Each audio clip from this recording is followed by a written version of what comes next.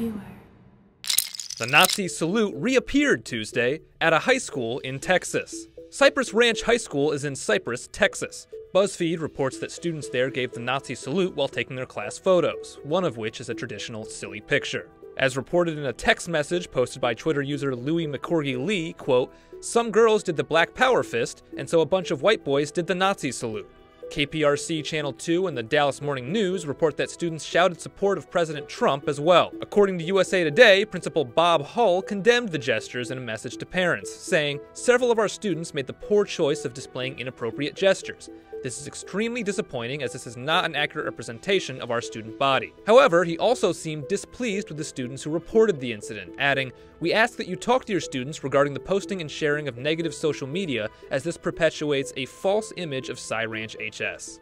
For Veuer, I'm Matt Hoffman.